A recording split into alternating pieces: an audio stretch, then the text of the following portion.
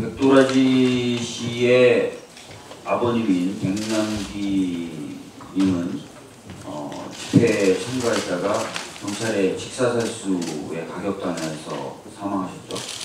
네, 그렇습니다. 당시 사정을 간단하게 잠깐 설명을 해주실 수 있나요?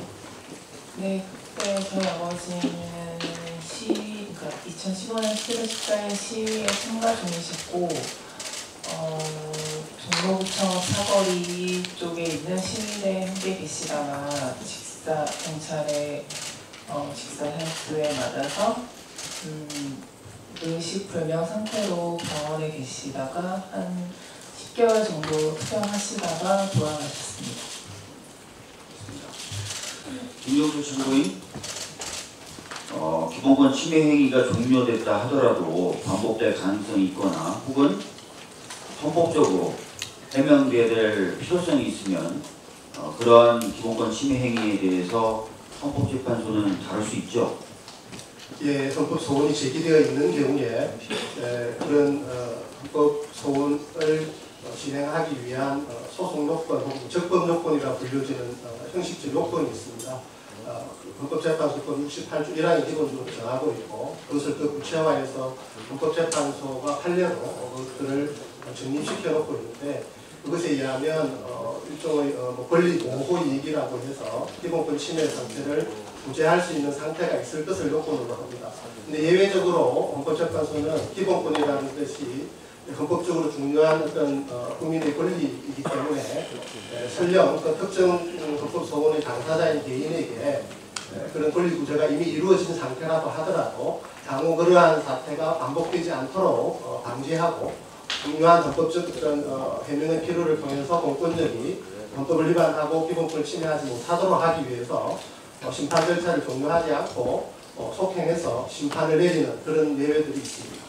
예, 방금 참고인이 말한 것처럼 기본권 침해 행위가 종료됐다거나 또는 침해됐던 기본권에 대한 구제 절차가 진행됐다 하더라도 이후에 그런 침해 행위가 반복될 가능성이 있거나 또는 헌법적으로 그 의미를 해석하는 것이 중요한 의미가 있다고 했을 때 예외적으로 각하를 시키지 않고 어, 재판 절차를 진행해서 헌법적인 결론을 에, 내리곤 하죠.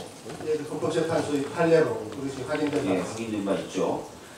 사실 그래서 참고인 백도라지 씨의 아버님인 백남기 어르신은 어, 경찰의 직사살수에 의해서 사망하지 않을 수도 있었던 것입니다. 무슨 얘기냐면 2011년도에 이미 어, 직사살수가 문제가 돼서 뇌진탕이라든지 각막 손상을 입은 사람들이 어, 청구인이 돼서 헌법소원을 제기했었고 아, 그때 직사살수가 위법하다 또 위헌적이다라는 것이 확인이 됐다면 어, 2014년에 백년기 어르신의 경우에 그런 어떤 아, 2015년 백년기 어르신의 그런 일은 어, 반복되지 않았을 가능성이 좀 있다고 봅니다.